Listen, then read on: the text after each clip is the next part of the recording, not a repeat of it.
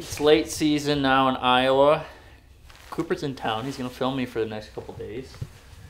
Um, I want to shoot the bow real quick, make sure we're good, make sure we're dialed, and uh, we're gonna head out to the blind.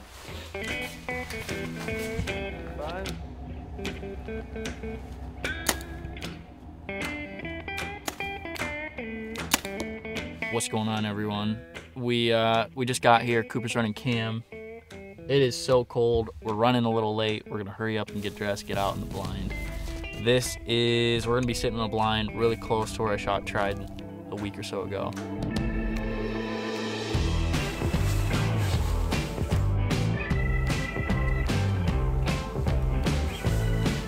We're out in the blind. It is so cold. It's it says it's 22 right now. This morning it was like 10 degrees. It's gonna get down in the single digits tonight. We're sitting in the hay bale blind. Actually shot Trident probably 100 yards this way, and then like 100, 120 yards farther is the the other blind, the other redneck. So, with the wind, we're kind of playing it marginal. It's gonna like hug them. So as long as they're in the field and they come from that way, we'll be good. If they kind of button hook us around, it might get kind of hairy. So we'll see. We're after quite a few deer. A lot of deer showed up and stuck around. The big 12, the big 9. This new buck showed up. He's like a big 11 pointer. Never seen him before. Lefty. He actually showed up in daylight yesterday over in front of this redneck. We'll see. It's just kind of a mixed bag. It's just a matter of if they're going to be close enough to this blind or not.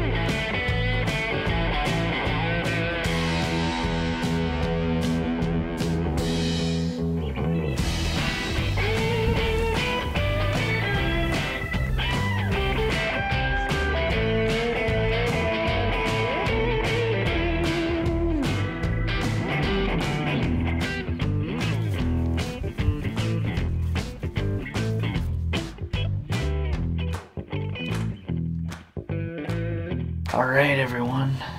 Guess this is uh, day number two with Cooper here. It's kind of, I'm only home for, we had yesterday, today, tomorrow, and Saturday. So, you know, a few days of hunting before I gotta head out, um, go do some Ultraview stuff. So, it's day two of our hunt, I guess. We had the big nine last night. We didn't get him on camera because he was like 200 yards away, but he came out right in front of the blind we are in now. Walked right by about 30 yards. Um, he met up with those other bucks, the big nine, or I think we're, we keep calling them big White nine. The white nine we're calling them, and then that that other pretty three-year-old 10 point. They came up. They were all right here. A lot of deer right here. They definitely like this side of the field more than that side of the field. Um, but we got a good south wind today. Yesterday we had a northeast. Had to sit over there. So we'll see. It's just a gamble game late season like this. If they make it out into the field before dark, if you know, depending on what deer, you know, what they do at night. There's this cornfield. There's a cornfield across the road, so they just kind of shuffle around on all the food right now. So we'll probably see some deer here in about an hour. It's like two o'clock right now, so three three thirty. We saw deer yesterday. Sit back, enjoy the uh, the shelter of the cold elements.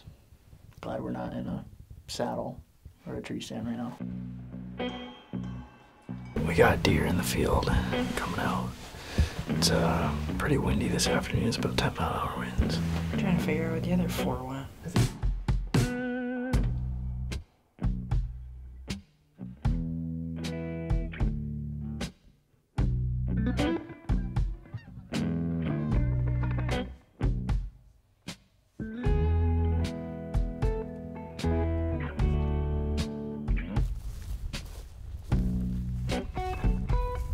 All right, guys, it's December 31, New Year's Eve. We have a huge weather system rolling in like early tomorrow morning and tonight. Um, so I'm really hoping the deer are going to be on their feet tonight. It's 2 o'clock, just after 2 o'clock, and we already have does out in the field. So I'm hoping it's a good sign that stuff's going to be moving early. Um, our wind is kind of like a north wind, just super marginal. So we're trying to keep the windows shut. Um, got onyx running and whatnot. Just really hoping we can get away with this marginal wind. So hopefully some bucks pop out before darkness. Because last night, right at last light, a bunch of deer piled all around us. We had to wait in the blind an hour. So we'll see. Hopefully some deer moving tonight.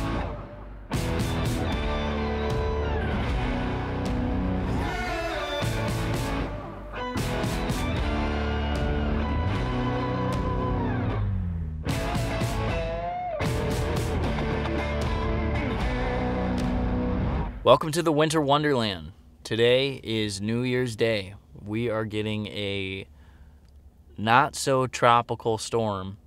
It is snowing. We're supposed to get anywhere like five to eight inches. They're saying it dropped uh, 40 degrees. Like it's it's zero degrees right now. Um, and with the wind chill, I mean you're probably feeling negative 10, negative 20 because it's 20 mile an hour winds. But we are going to nestle up in this blind and hope for the best. This is kind of like my last hunt for the week. I got to run down to Atlanta tomorrow, um, and then I'll have like the last two days of season right after ATA show. So I am really hoping something uh, like a like a miracle happens tonight, pretty much.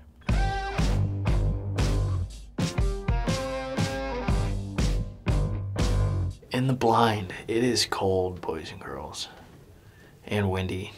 The snow actually stopped. It's not snowing right now. Um, really hoping the wind dies down though, right? You know, last hour light or so, because I don't think these deer are really gonna want to get out in this crazy wind. But we're tuckered in. We could not be sitting outside right now. It would be nuts. We'll see. This cold weather, hopefully, it gets him kicked out in this field. Really hoping for a miracle on this one.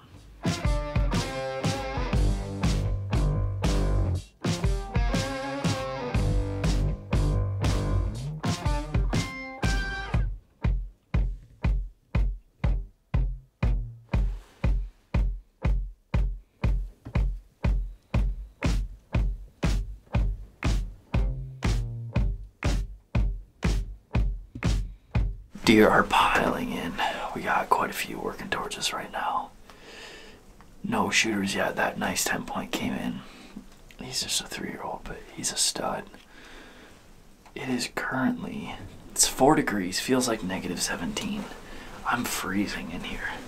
I really wish I brought a heater of some sort, but all these deer piling in right now.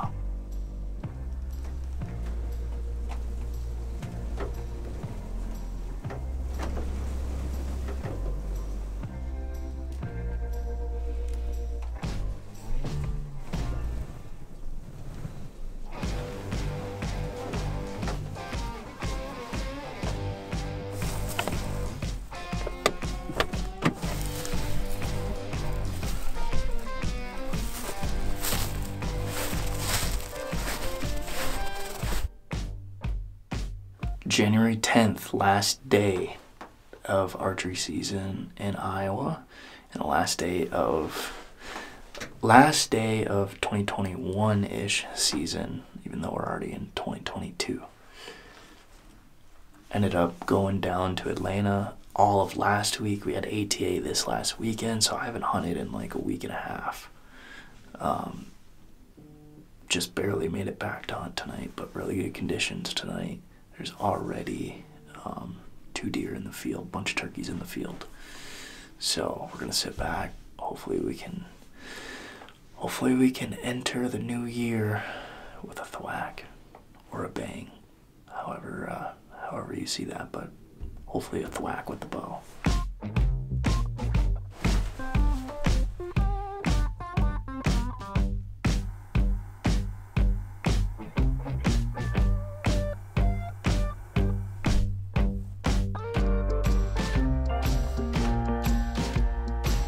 Knew the wind was going to be a little, little tricky this afternoon.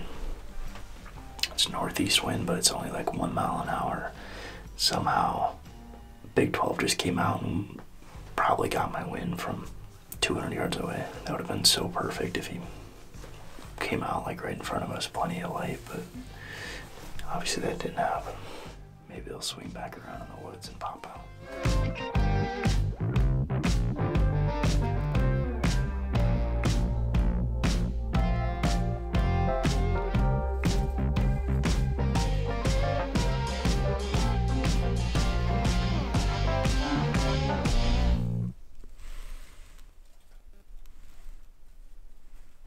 Holy cow. Well, that's the end of the season.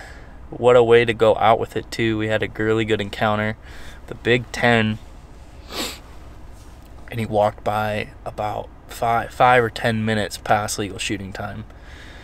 Literally watched him just on the other side in the field for a half hour. He jumped the jumped the fence, came into the field, and then worked his way all across the field. But it was already past legal shooting time when he was all the way over, and then he just made a beeline straight for the blind. But good end to the season. What a ride! Definitely the most encounters with bucks I've ever had. Most experiences, most experiences I've ever had. So, really fun time. And until next year, have a good one.